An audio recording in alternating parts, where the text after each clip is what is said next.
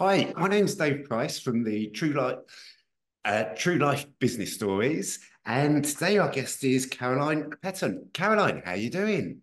I'm very well. Thanks for having this conversation with me today, Dave. No, really good to meet you, and yeah, fascinating because it's a, a, subject I know very little about actually. So really good, looking forward to finding out more about what you actually do. Um, but the first question I always like to start with is, how do you actually help people? Well, I work with individuals predominantly, helping them find lasting relief from symptoms, health concerns um, that they may have been experiencing often for a really long time. So, whilst people may go to the doctor, and understandably, they would do that and find out what's going on in their bodies. Maybe they might be diagnosed with something, but very often people are still living with a variety of symptoms. I specialize in mm. gut health, but I don't just do that. And the way I work is you don't just get eight minutes of my time like you might do if you went in to see a GP. I spend 90 minutes at an initial consultation with somebody. I find out as much as I can about them, even in advance of seeing them, by filling in a really detailed case history questionnaire.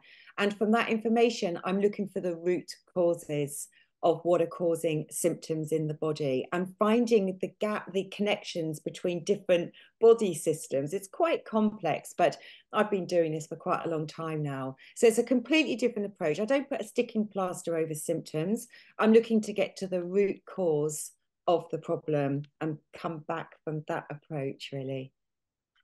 Right. And is it sort of a, an easy example you can give us of somebody who come to you with a specific symptom that you can talk me well, through? Well, just to briefly say, obviously, people have a lot of gut problems. I don't need to go into any specific details of the types of things they might come and see me about. But you know, it, they may go to the doctor and it may be diagnosed as, oh, well, you've just got just got IBS. So many things are sort of classified into this category of IBS. Well, we need to go back beyond that and look beyond these symptoms. Has anyone really spoken to them about digestion? Has anyone really had that conversation about how food is digested in the body? There are three phases of digestion. If you can't digest your food properly, that in itself can have a knock on effect with everything else that's going on in the gut. So, just as a very simplistic thing, I'm all about understanding what is going on in the body where from a digestion point of view and there are plenty of ways i've got plenty of tools to help people to support digestion. And that alone can go a really long way to helping to overcome some of these symptoms. But because as you say i can see some people initial approach will be to a, a doctor or their, their gp uh, with some of these symptoms yeah of course. People normally talk to gp first they normally Always. come to you always. I have to say that tend to find that most people will come to me when they've exhausted more than medical options. And you do want to go down that route. You do want to rule out there's nothing more sinister going on. I absolutely get that.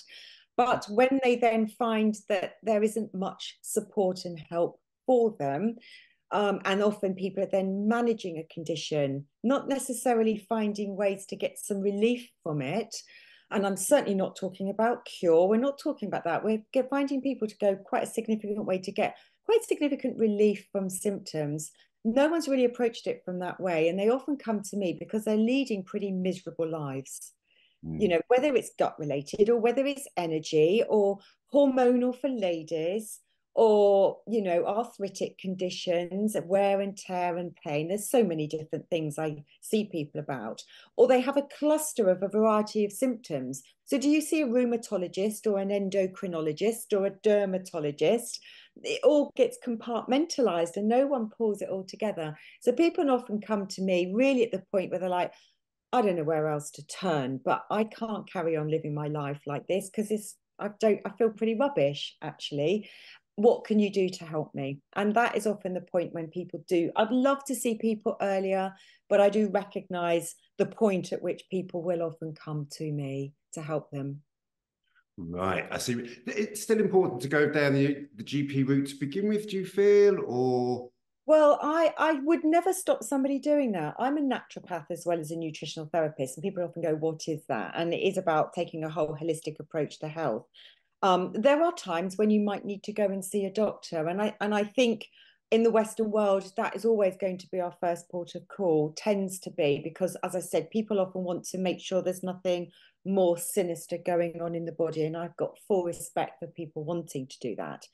But there is so much that I can do before people get to the stage where they've let it go on for so long that things have got worse and worse and worse. And hopefully, people were prepared to come and embrace working with somebody like me earlier on in the cycle, there is so much that I can do to really help improve the quality of their life. Definitely. Right. And is there any reason in your your view what stops people uh, talking to you initially or Uh, are there any barriers you feel there? Well, I'll be honest with you. It's a cost point of view because, again, as particularly here in the UK, we've grown up with an NHS that is supposedly going to take care of everything and it doesn't cost mm. you anything. So to then think, well, I'm going to then pay somebody to help me, I think that's why people don't do it. But I think that's definitely, definitely changing. I think there's a recognition that people need to take more responsibility for their own health, take mm. matters into their own hands, and not wait for until you get through the system. And of course things are taking so long anyway through the nhs system that you know by the time you might have been seen or got anywhere to be told it's not much they can do potentially um, then i think there is a growing recognition to work with somebody like me. And i often get, then get told i wish i'd worked with somebody like you much sooner really that's probably one of the things. Is there actually the awareness out there of people, of, of people like you out there, if you see what I mean? I there's a there's a growing awareness, but I still think there isn't necessarily enough awareness. I think there is a, a thought that if you've got nutrition in your title, that all you're doing is weight loss. And mm. my training is so much more in depth than that. That to me, if somebody comes to me for weight loss, I wouldn't necessarily say I am the best. I can help somebody with weight loss, but I tend to work with more complex things than that. Weight loss is just part and parcel of what I would do. Somebody, many people come to me and then, yeah, I'd like to lose a bit of weight as well. And then they'll find they do lose that weight. But I don't, uh, I think there's too much of an assumption that people like myself are really just doing weight loss and it is so much more complex. People with the right training, the right qualifications and experience of working with and a much more sort of complex uh, health conditions than that. I, am intrigued then on that point. How did you get into this? What was your your background? So my background is very different, as it often is with uh, people who change, you know, get end up in these types of ther- working these sorts of therapies. Um, I worked for 20 years in corporate. Most of that was with BT. I was a procurement manager in BT, managing multi million pound contracts and departments. And like many people, you reach a stage in your life when you think, is this all there is? I'm fed up with corporate life. I'm fed up of putting the hours in for not getting any reward from it. Um, not I just was not finding it rewarding at all. Loved it when I started out, but as you get to a certain stage in life, you think there's got to be more to life than just doing this. And I can only describe it as a light bulb moment for me when it was, well, what my husband said to me, what else do you want to do? I said, I'm really interested in nutrition. It was only like a light bulb. It sounds a bit corny, but it really was. Um, I was always the sort of person who'd pick up a magazine, you know, not so much online in those days, but pick up a magazine. I'd always want to read about nutrition related stuff in the magazine and how it might have helped in different things. So, um, yeah, it, it, that was what the, it was like a light bulb. And then it was a case of finding somewhere where I could study part time. I was working part, I had five year old twin girls. I had gone part time with BT, but it was never a part time job, those sort of roles. You know, you still the job doesn't leave you when you walk out the door. Five year old twin girls, working supposedly part time at BT, but it wasn't really. And then embracing and kicking off my nutrition training.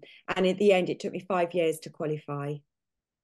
Five years? Yeah, to complete the whole course. I mean, if you had more time, you could do it in three. You can't do it in less than three years. It's the equivalent of a degree It's the same sort of level really as degree, but at the time there are now some degree courses for nutritional therapy, but when I was doing it, it was only sort of diploma. It wasn't linked to universities, but it was extremely in-depth training, and people would not appreciate just how in-depth it is, understanding the body systems, understanding medical conditions, understanding um, uh, medications because I have to be very careful. There's no interactions between her, you know, supplements and medications. Really in depth, a full year of clinical practice training where you're working with volunteers and cases. Really, really in depth. Wow, more in depth than I was expecting you to say. Really in depth, yeah. Is, can anybody call themselves a nutritionalist? Well, it's not a protected term and there's been a lot of talk out there amongst different depart um, different organizations around what you can call yourselves. It's not protected. So it's very hard for individuals looking for somebody doing the sort of work that i do to know that they are found somebody who's really well qualified. I think one of the most important things is around the clinical practice training you know, I spent, as I said, a full year doing clinical practice training because you can do all the theory in the world, but unless you know how to try and put it into practice with an individual where they come to you with their presenting symptoms and their case, what do you do with that information? That's the tricky bit. And it's taking all your theory and then putting it into practice and taking all that theory and the complexity of what you've learned and putting it across to people in really simple terms that they understand and then they can go away and put it into practice what you're asking them to do. Um, so no it is it is a tricky one. Um, i've been involved with the um, setting up of a professional association called the naturopathic nutrition association. I helped to found it. I was chair for seven years and then i was the accreditation officer. So we were then accrediting nutritional therapy colleges for Michael's was naturopathic nutrition, but let's not worry about what that means. But it was naturopathic nutritional therapy. So I was also accrediting colleges as well. So there were some big deviations in standards out there actually. Right. So literally, I could read a couple of books and just call myself a nutritionalist. There are some online courses that could be sold to you. Come and do this online course, £99, and become a nutritionist there are things out there. Yeah. But I would hope people, you know, I've got insurance to practice and I can only get my insurance to practice because I've completed certain courses. Do all nutritionists out there have insurance? You know, I have insurance. That was one question I, I was going to ask. If I've got an issue and I'm thinking, yeah, I want to go down that nutritionist route, what are the questions I should be asking somebody to know if they have got that sort of professional background that you have? Compared to somebody who's just what pro what professional association do they belong to would be a starting point. Who did they study with? Um, but it, that alone is very difficult because unless you really know um, the industry you know you it's very difficult to know. It's a bit like if you go and see a i don't know what you could compare it to I don't know, massage. Let's just say massage therapist. I bet there are lots of different levels of people who've trained in massage potentially. I don't I don't know. You don't really know. It's about forming that relationship with people. Um yeah, doing a little bit of research around the individual about them and where they where they studied, what professional associations are they with do they have professional insurance having insurance is really really important i can't be a member of my professional association without insurance i presume that works both ways as well that you yeah. can't have one without the other so yeah. Professional association membership and yeah. insurance probably... yeah. A, a, couple mm -hmm. of important things yeah yeah yeah cool um and are the barriers, you say, apart from the financial side of people coming to talk to someone mm. like yourselves, do you find any other barriers at all there? I think a barrier um, is people have got to be in the right frame of mind and they've got to be prepared to make some changes in their lifestyle and in what they're eating. So they've got to be committed. Now, I think some people are put off coming to see somebody like me because they think, oh God, she's going to tell me I can't have a cup of coffee, I can't ever have a glass of wine. Oh, I'm going to have to follow this really pure diet. Pizzas are out the window. No, it's not like that at all. I'm very human.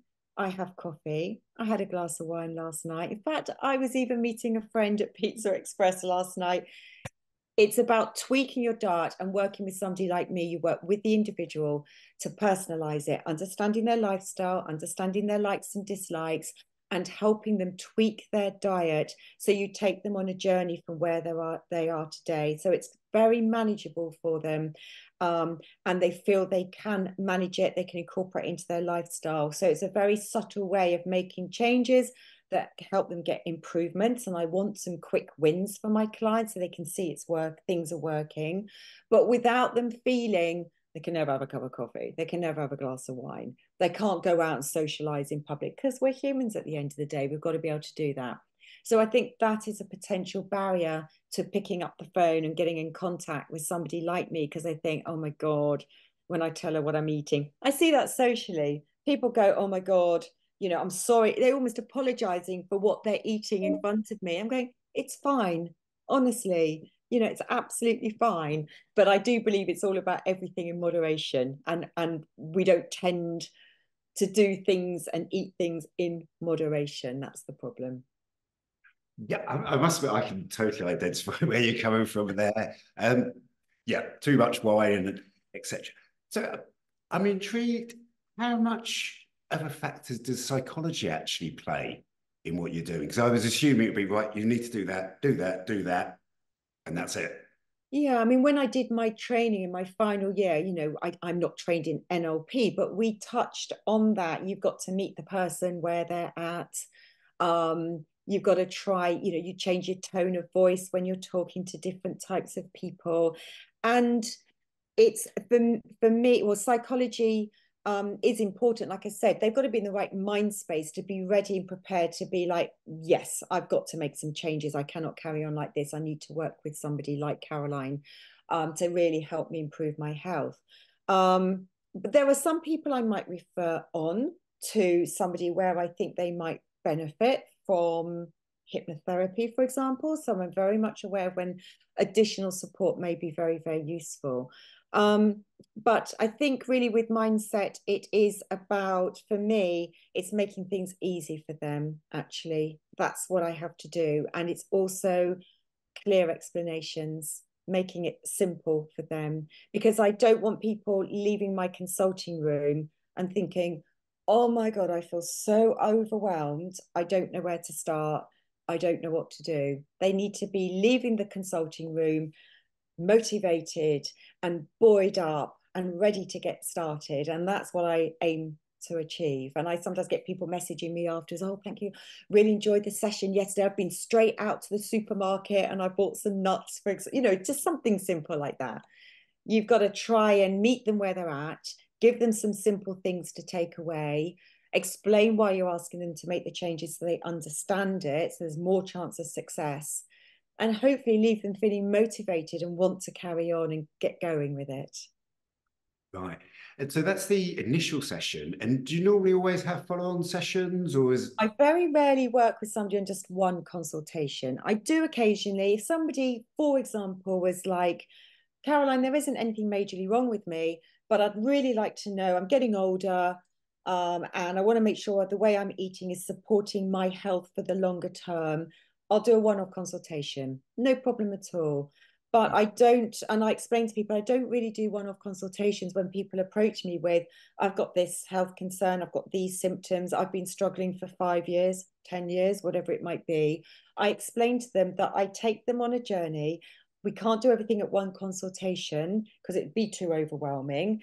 And um, you know, what works for one person isn't necessarily going to work for somebody else. So whilst I've got a lot of experience, and I know things that can really make a difference, we can't assume that every single person is going to react in exactly the same way and that we'll see the same benefits straight away. So it's really important I work with individuals over um, three months, I do three month programs, five month programs typically, and I always do additional consultations if people near it need it because I want to get them from where they are now. I want to see success. I want them to see the changes and the improvements, and they need to buy into that at the start because they need to accept. And I always do a discovery call with people, and they need to accept that you can't expect the change to come in one consultation. And generally they go, Yeah, I realize that. I realize that. So I do get them to commit to a program of length.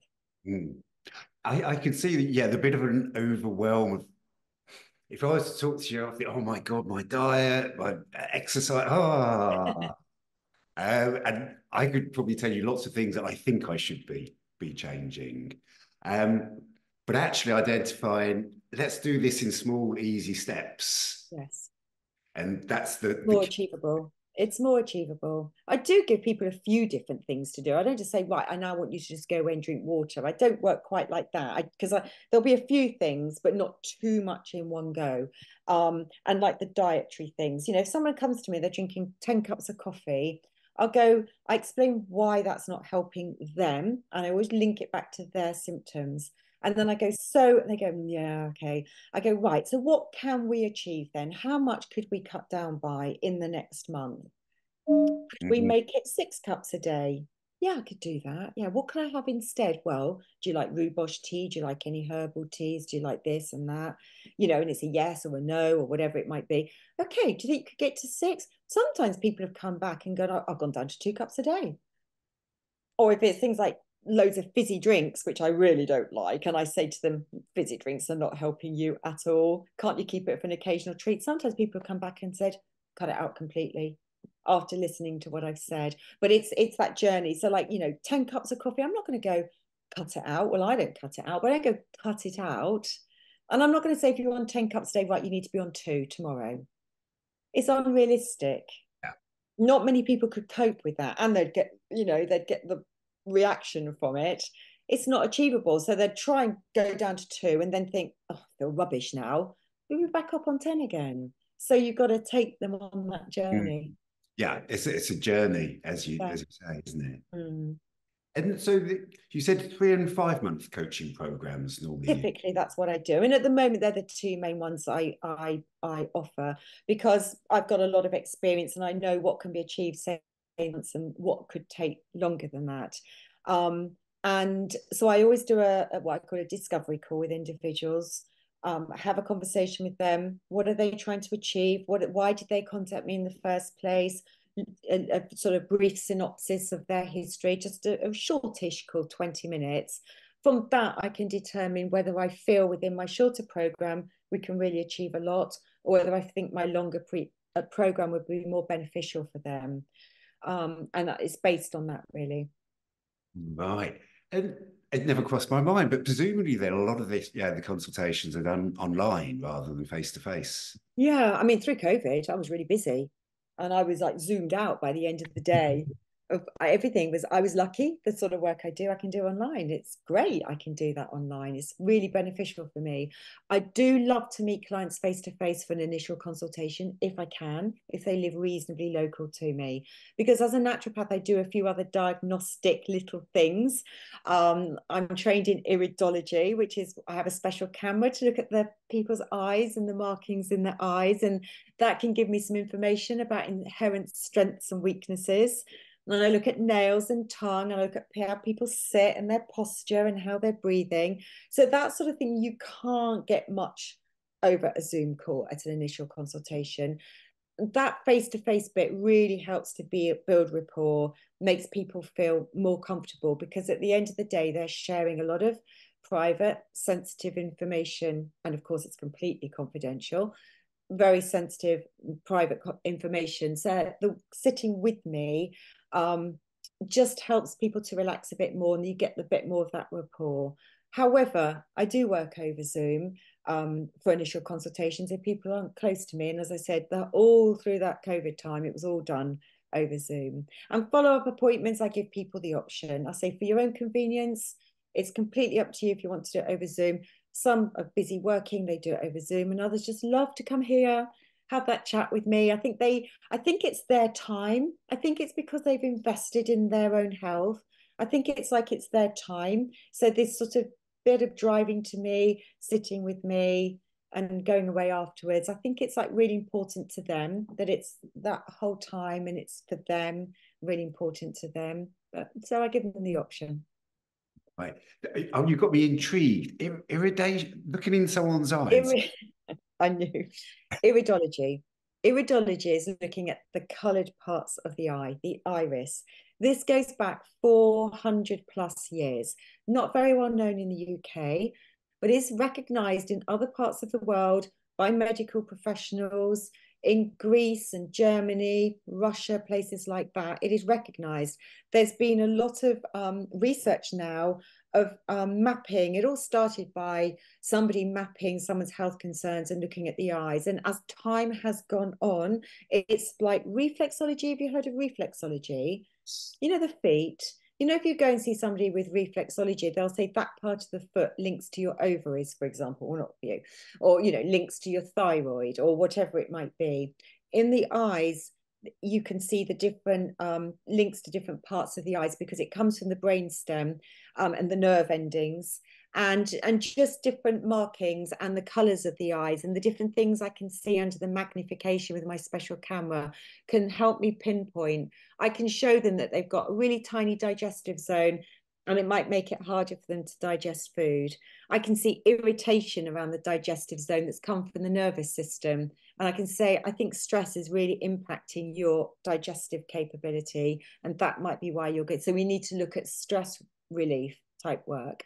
I can see where people struggle um, with the lymphatic system. And also, anyway, it's it's you know i don't do it as in depth as other, other people might do i don't advertise myself as just an iridologist i tend to just like to use it at the start of my consultations so as i said just give me some pointers and helps me identify you know where there are well more likely the inherent weaknesses than the inherent strengths is what i like to like to see really and just sort of explain to my clients and they're fascinated by it really yeah that sounds fascinating. Yeah, I hadn't even heard of that before at all. So, so I imagine most of your clients actually not self-diagnosed, come to you for, for themselves for their own uh, own reasons and backgrounds. Um, but I was also intrigued. I noticed on your website you're actually doing uh, corporate retreats. Yes, yes. I didn't put the two together initially. So, um, you know, I do all this work one to one with clients just to sort of a slight step back. I'm really passionate about sharing my knowledge, first of all, you know, so that's why I, I go live in my Facebook group. I've got a YouTube channel, podcasts. I've launched a podcast as well. But last year, for the first time, and it was something I'd wanted to do before, but I ran some ladies' retreat days at this stunning venue in the Cotswolds, beautiful venue.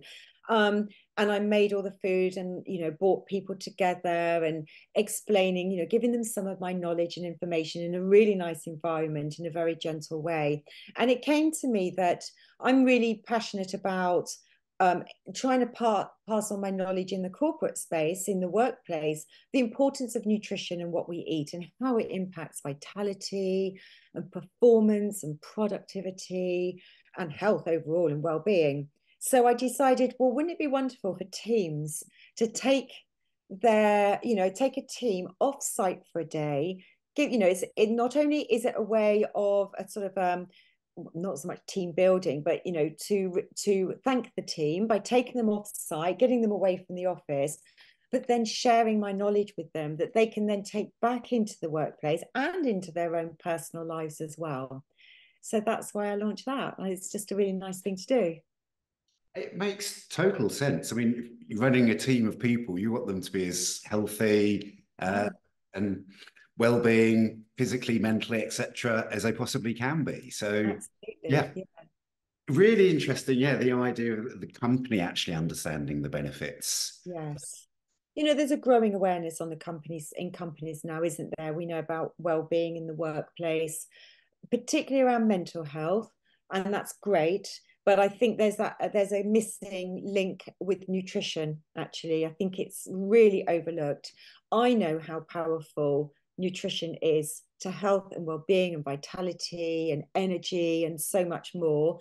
And unless you've gone through, say, a program with me to know the difference, I don't think people are really aware in the workplace of how it could make people so much more productive and you know sharpen decision making i've had a client this year who said to me uh, my energy is so low in the afternoon. He's got you know reason, very responsible job. My decision making i have to do in the morning. I can't do my decision making in the afternoon because my energy levels are just so low i can't think straight and think how many people are feeling like that. He's not alone. No way is he alone in feeling like that. You know, that mid afternoon dip and you're not hmm. thinking mm. straight. Doesn't need to be that way. No, it's not the sort of thing people normally admit to. You wouldn't admit to at work. Of course, so, you wouldn't admit to. I was so tired, I can't do anything. But people can't, you know, are not productive all day long. They may appear to be productive. It doesn't mean they are. Mm. And from their own point of view, their people are working really hard at work, you know, stressful jobs, working really hard, giving everything to their jobs. Go home at night, probably flopping on the sofa, you know, or weekends with family and children. Sometimes people are taking all weekend to recover fully to get back into the workplace on Monday to start off the whole thing all over again. You know, and are they really firing on all cylinders? And nutrition is that missing link to making that happen. Mm. And in the, the group settings, then, is it more of an educational basis? Mm. Yes, it would be. Yeah. I mean, certainly if workplaces um, really recognize the importance of this, then I would be able to do one on one consultations if they were concerned about a member of staff, um, maybe kept taking time off sick, you know, like immunity, for example. Some people, you know, get run down and they're off sick because they can't recover from colds and keep getting repeated colds, whatever it might be. You know, if they had an individual like that in the workplace and said, Caroline, could you help them? Of course I can. I could do then do a private one-on-one consultation or series of consultations to really help them. But generally, to start with, I think in the workplace, it's just generally getting that education in a group setting. Mm. I can see from an HR perspective what you can actually do to keep employees effective right. as possible and happy as healthy as possible is a direct benefit to the company's bottom line. Well, yes, it, yes, definitely. I mean, there's a lot of stats out there of, um, you know, people. Well, we keep hearing all the time now, don't they? Can't get people back into work. Mm. People aren't well enough to go back into work now, but they companies are losing people. And an, an area where people uh, companies are really losing people is women of that 45 plus age bracket because of the menopause. You know, there's been a lot of talk around this.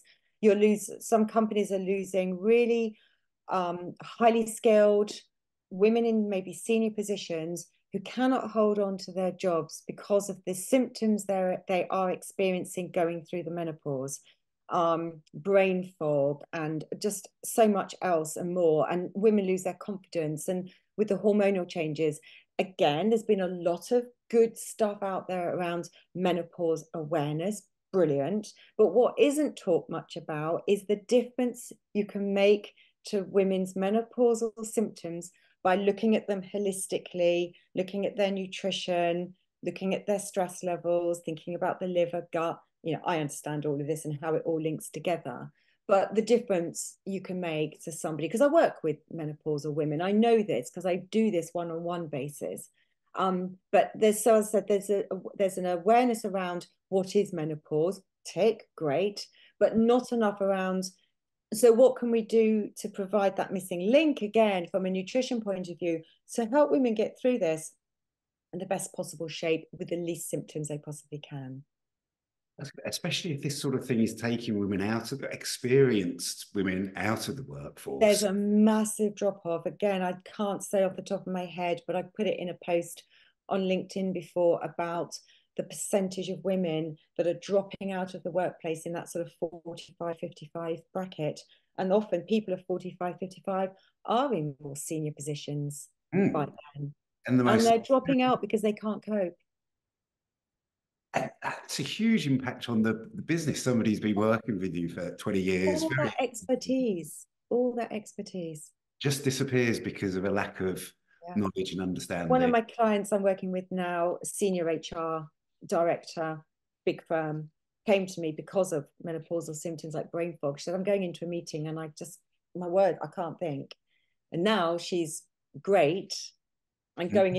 In going in for an interview for promotion. Do you know what I mean? But she said I could never have done that because I just couldn't think straight and I, I couldn't let on that was happening. Yeah, I can see it actually being a real investment for a, a business their, their bottom line, just looking at things financially, as well as the increased well-being for their their staff. Absolutely. Yes. If you could say anything, if we had all the big CEOs of the top FTSE 100 here, what would you like to say to them?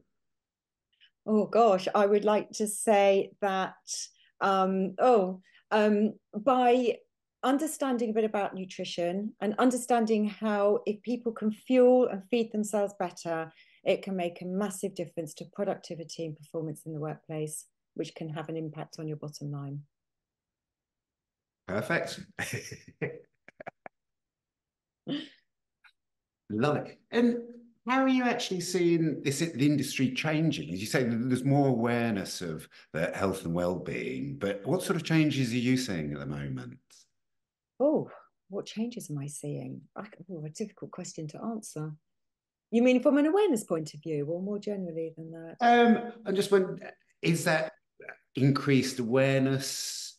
Is that driving how why people come to you, or? Um, oh, I don't, I don't know. I can't think about. I don't know actually. I can't. I was we sort of touched on it already, but the term nutritionist uh, was it even really about mm. years ago? No, it wasn't so much about. And actually, interestingly, because I also call myself a naturopath, that's slightly different training. Um, that's not so well known in the UK, but increasingly I get people coming to see me because they're looking for a naturopath. It's a more holistic natural approach to your health. Yeah. That's good. Because I personally have never actually heard no. the term naturopath until until today yeah. we started talking. Exactly. And that naturopathy is not a therapy in its own right. My main therapy is nutrition. That's my main therapy and specializing in gut health as well. But um, naturopathy is understanding the whole person. And it is absolutely, they were the first ones to talk about getting to the root cause of symptoms. You've got to understand the body and you've got to understand the root cause. Um, because otherwise, if you don't get to the root cause of symptoms, the symptoms aren't going to go away. Naturopaths also understand that the body has this inherent healing capability if it's given the right tools. Of course, a lot of the right tools is giving it the nourishing food.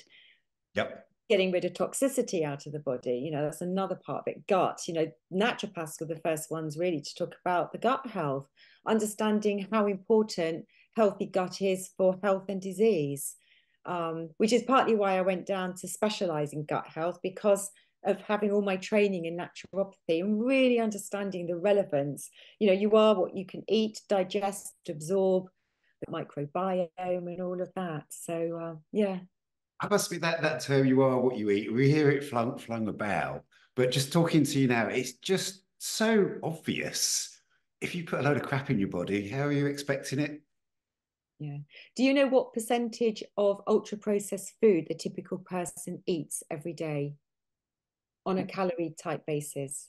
The percentage Ooh. of ultra processed foods, oh, processed and ultra processed foods in the UK, the average person eats my girlfriend is really anti ultra processed food, so she's trying to get me. Luckily, she does with the cooking, so she's trying to get me off it.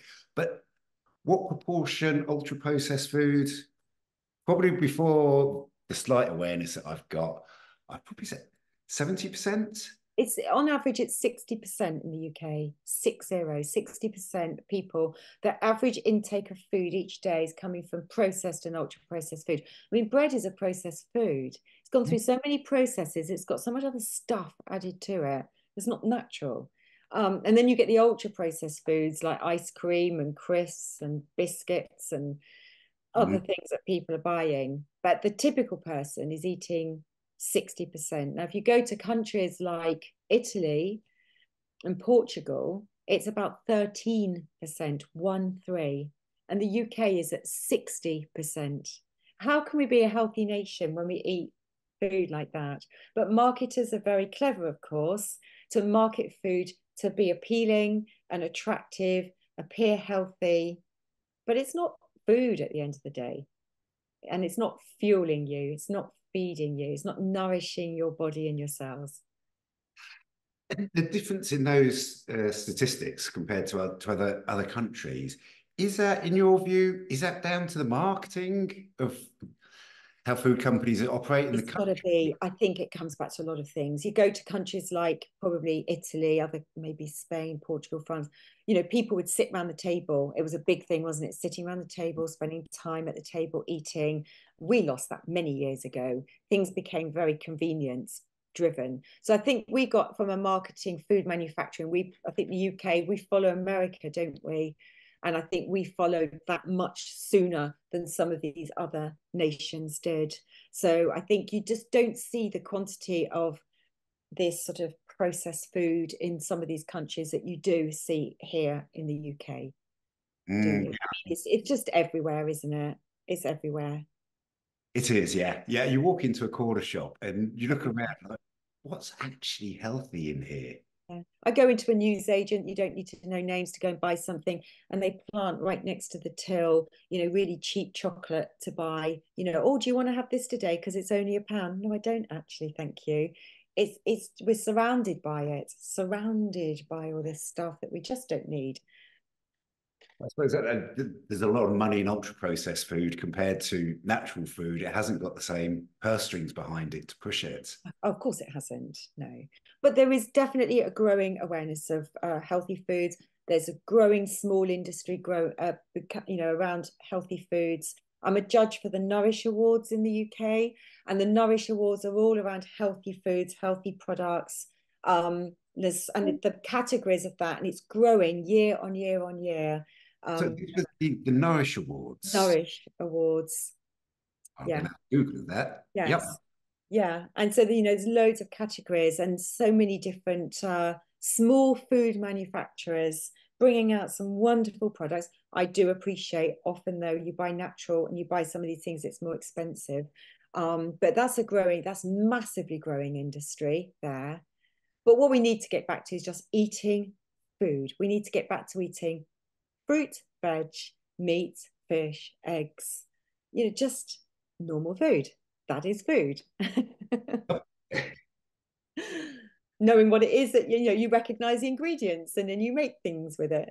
That's what we ideally would get back to most of the time because I do appreciate we're busy people. So it's, you know, it's trying to do it most of the time and recognizing there are going to be days when it's not achievable and that's fine. And that's where I come back to everything in moderation and you know if you if you manage it and it's just not as of you know the 80 20 pareto rule if 80% of the time you could eat well and 20% of the time you slip you'd probably be in a pretty good place mm. health wise people aren't even aware if they're hitting that 80% at all though. They're just no, not at all. Yeah. Mm. I, I mean Trees, you talked about a lot about working with with women what, what percentage of the, the people you do one to ones with are men compared to women? Quite a lot, actually. So, whilst I feel my marketing in many ways is possibly more directed at women, and last year I was running these ladies' retreat days, um, I do actually have a lot of male clients. And what I think is so refreshing now is how men are prepared to want to address their health concerns and want to address it in a natural way. And I find that really refreshing. I see younger lads up to people in their 70s or 80s, you know, or a lot in their, a lot of my clients are in their 40s, 50s age bracket, I would say.